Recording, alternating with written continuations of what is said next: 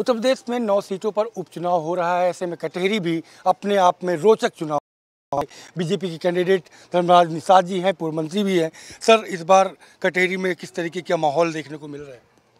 कटहरी में इस उपचुनाव में माहौल भाजपा की तरफ़ है। यहाँ की जनता चुनाव लड़ रही है और हमारे जो है कार्यकर्ता लोग और विशेष करके जिला अध्यक्ष जी साम बगल खड़े हैं।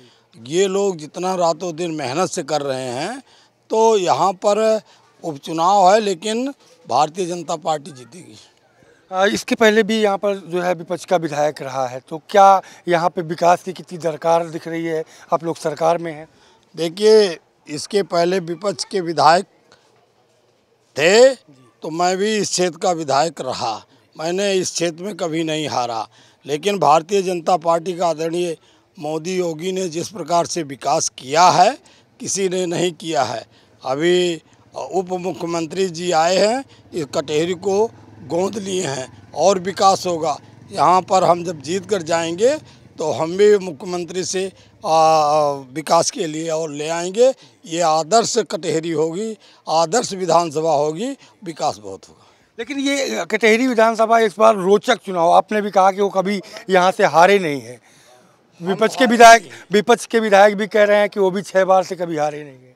नहीं विपक्ष के विधायक कोई यहाँ छह बार बीच बीच में हार गए थे। बारह में हार गए थे। बारह में मैं नहीं था लेकिन मैं कटहरी में जब तीन बार लड़ा तीनों बार जीते। लेकिन कुछ कारण से मुझे शाहगंज जाना पड़ा कटहरी भी गुसाईगंज जाना पड़ा और फिर मैं भाजपा में आया। तो सम्मान भी मिल रहा है और कटे अकबरपुर से लड़ा और मुझे गरीब के बेटे को प्रधानमंत्री, मुख्यमंत्री और जिला अध्यक्ष ने मिलकर के जो ज़िम्मेदारी दी है तो ये गरीब के लोग, हिंदू लोग जो है यहाँ पर कमल का फूल खिलाएँगे और मुझे जिताएँगे और भाजपा के हाथ को मज़बूत करेंगे योगी मोदी के हाथ को मज़बूत करेंगे। अंतिम सवाल विपक्ष के कैंडिडेट आरोप लगा रहे हैं कि जिला प्रशासन का इस्तेमाल सरकार के द्वारा कराया जा रहा है आप लोगों के द्वारा कराया जा रहा है। पहले अपने गिरवान में झाँक कर देखें कि जब सरकार थी तो वो लोग क्या करते थे। आज प्रशासन कुछ नहीं कर रहा है। जो है हमारी पार्टी हम जो जीत रही है जनता जो है वो भाजपा की तरफ़ है।